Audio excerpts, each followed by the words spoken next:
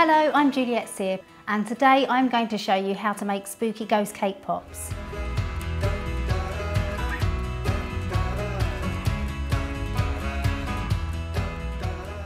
So I've got my pre-made brownie here, it's really nice and fudgy.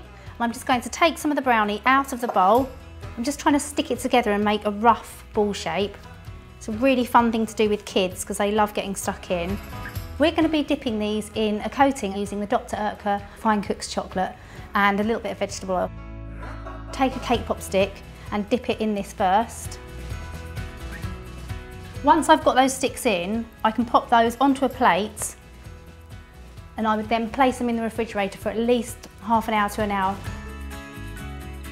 I've got my cake pops here, pre-chilled. Just going to plunge this into your chocolate mixture and then just tap very, very gently on the side of the bowl just to get the excess chocolate off of the cake pop.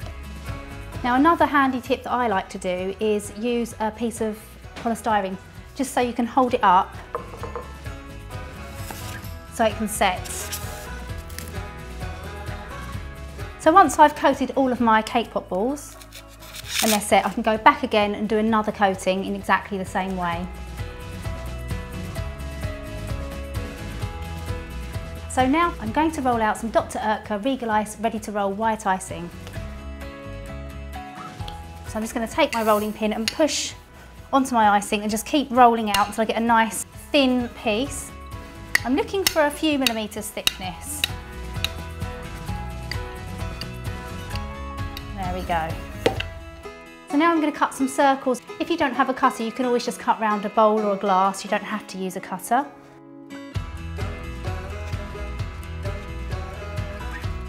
So now I need to stick these onto my cake pops. I'm going to use a little bit of the Dr. Oetker designer icing. You don't have to use this. Anything to make it sticky, a bit of apricot jam would be fine. There we go, so that's my first one. So I'm just gonna just encourage the icing to come down, so really, really easy.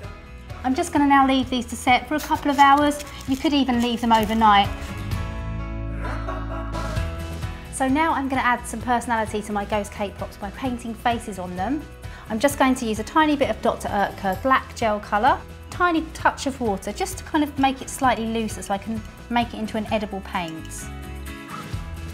And now I'm going to create some spooky faces.